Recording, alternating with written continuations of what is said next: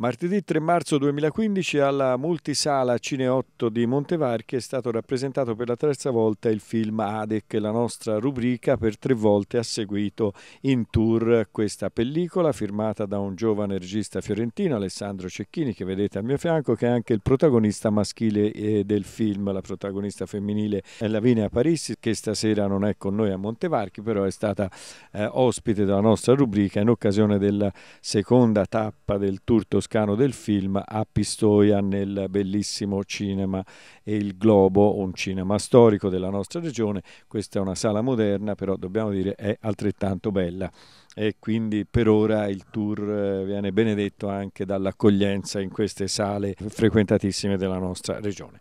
Ehm, per evitare magari di farti le stesse domande che ora non mi ricordo più, ma che ti ho fatto in occasione delle prime due proiezioni, quella al Cinema Alfieri di Firenze e quella già evocata poc'anzi del Cinema Globo di Pistoia, vorrei un po' sintetizzare mh, lo spirito di questo film. Qui c'è la lotta fra il bene e il male e stasera tu hai scelto per rappresentare le due anime del film due dei protagonisti, altri li abbiamo presentati in occasione alt- degli altri servizi, stasera con noi oltre al regista che vedete a mio fianco ovviamente ci sono anche Ferdinando Ferrini che è un cattivo nel film, il cardinale e, e insieme a lui c'è Sandra Bonciani, mamma di Sofia, ovvero il bene. Possiamo in, in estrema sintesi eh, definire così il film, uno scontro fra il bene e il male, eh, che è un po' un classico della, nella storia del cinema.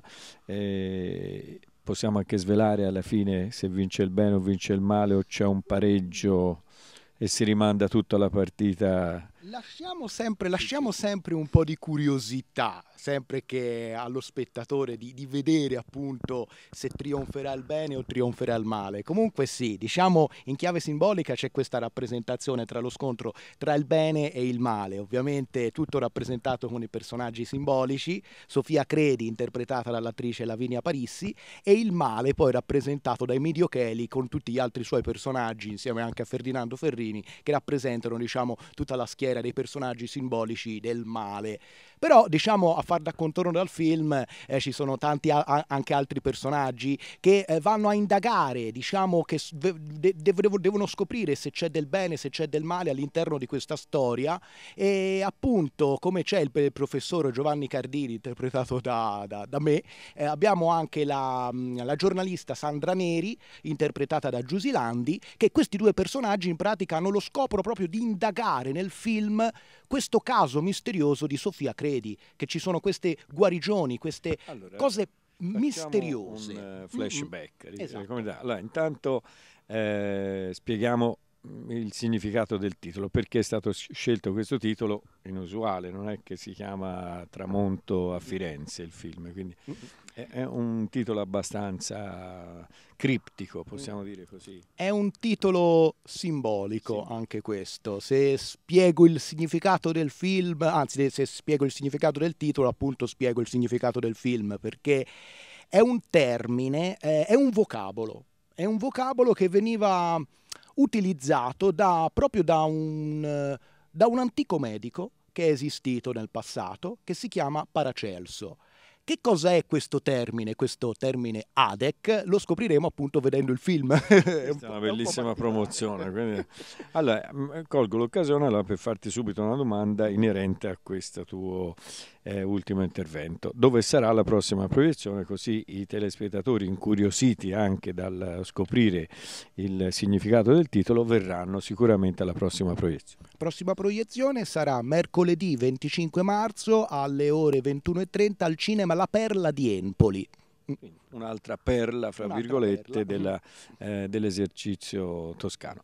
Eh, allora, ehm, questa protagonista mh, mm, vende o regala, più spesso regala che vende, una pozione misteriosa. Un qualcosa di particolare, che non è proprio una cura o una medicina, è proprio è un qualcosa, è un qualcosa che eh, bisogna vedere il film per capire che cos'è. Questo è un altro bellissimo eh, spot se, per il se, film. Se, se, mh, mm, mi, mi, piacerebbe dirlo, però, eh, però in pratica, ecco, eh, lei con questa cosa vuole veicolare un messaggio, un messaggio d'amore, una conoscenza, una verità e lo fa proprio appunto utilizzando questo suo dono E poi il perché dovrà fare questo verrà, diciamo, nel film raccontato da un personaggio chiave che è presente nel film, che è il maestro Alchemicus. Un, gran personaggio, un gran personaggio. subito. Questo lo puoi dire però. Sì, sì, sì, sì, interpretato da Alessandro Benvenuti. Io pensavo tu dicessi, chi vuole scoprire chi è il personaggio venga in Polacino. sì. Vabbè, questo lo possiamo dire. Possiamo passare ai due artisti che hai scelto stasera per rappresentare le tantissime persone che hanno lavorato al film. Stasera, eh, siccome alcune location, ricordiamo il motivo anche di questa proiezione, una location straordinaria, una farmacia che si trova a Mercatale di Arezzo, eh, ha ospitato una delle scene del film e stasera c'erano ovviamente i farmacisti e tutti gli avventori della farmacia che si sono trasferiti in massa a Montevarchi. Esatto, alla farmacia Soldani Salvini abbiamo girato una scena del film e questa sera siamo stati molto felici di uh, aver fatto vedere il film a loro e anche a tutte le comparse che hanno partecipato all'interno di questa scena. Allora, tu addirittura eh, sei l'emblema del buonismo perché addirittura eh, accogli, incontri tua figlia e tuo marito in paradiso. Come, come, si sta in paradiso? Siamo tutti curiosi di saperlo perché prima o poi ci potrebbe capitare di andarci. Allora, io sì, infatti interpreto la mamma di Sofia e mh, mm, incontro mia figlia e mio marito in, eh, in questo giardino sospeso, eh, bellissimo. Devo dire anche a rivedere, ci si sta bene, devo dire si anche... spende il giusto, quindi devo dire quasi gratis, eh. quindi si, si sta molto bene. E, e, devo dire anche dalle, rivedendo il film ho visto una, una sorta di atmosfera proprio grazie anche alle riprese di Alessandro e di Riccardo ehm, che hanno reso proprio credibile, l'atmosfera credibile, credibile, credibile. Ehm, rapportata proprio alle, alle, emozioni, ai sentimenti che mh, mm, volevamo riprodurre. Ecco. Benissimo, allora passiamo dal bene al male. E il tuo personaggio, spieghiamolo senza dare troppe indicazioni perché altrimenti al Cinema Perla verranno meno spettatori. Quindi incuriosiamo mm, più possibile i nostri telespettatori intorno al tuo personaggio che è un po' l'emblema del male. Anzi qualcuno tu ha detto nel pubblico, ha detto, eh, conoscendoti nella vita, insomma, stentava a credere che tu potessi essere credibile come cattivissimo. In, in, in, effetti in realtà la cattiva è lei, io sono il buono, insomma. Cioè, no, niente, che dire, mi, mi, mi, sono un po' impressionato anch'io vedendomi così, così cattivo, sì, effettivamente non credevo di essere, è stato Alessandro che tirato fuori il peggio di te. Il peggio di me, sì, in tutti i sensi.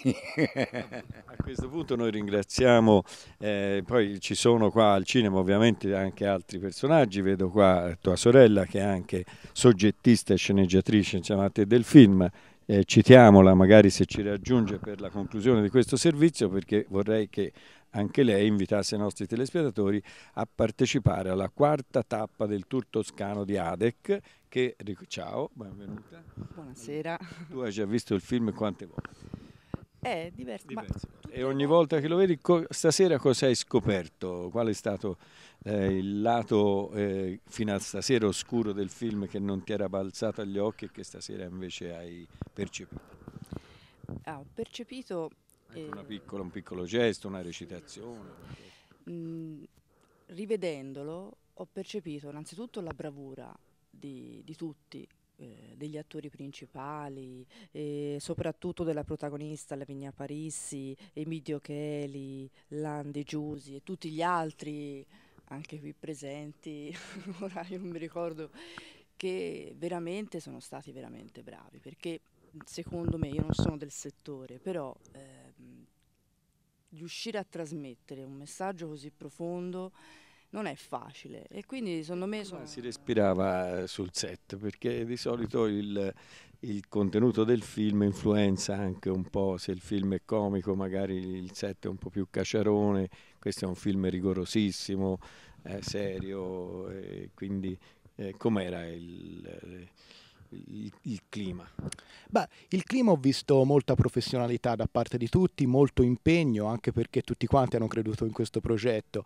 E poi eh, io personalmente tantissima attenzione, io ero molto concentrato nel, nel fare, nel, nel fare la, la, direzione del film, comunque eh, quindi diciamo eh, anche il clima esterno non ho potuto diciamo recepirlo al 100%, comunque di quello che ho visto e di tutto quello anche che mi hanno detto c'è stata molta professionalità da parte di tutti.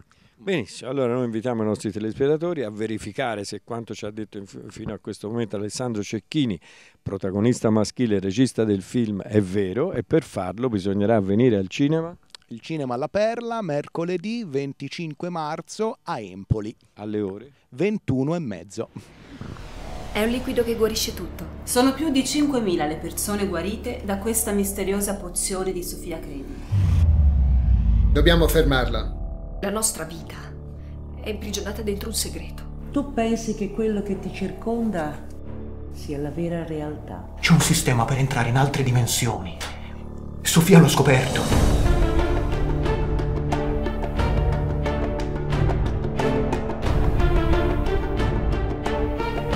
Cosa c'è dentro? Tu dimmi cosa vuoi trovare e io ti dirò chi sei. Dietro le quinte del mondo visibile ve n'è un altro invisibile di energia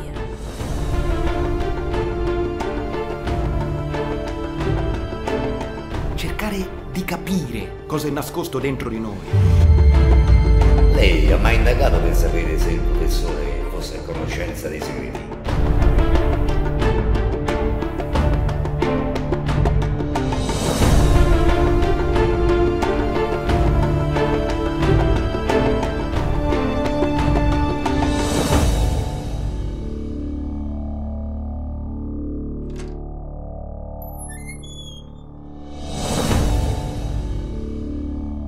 Aspettavo.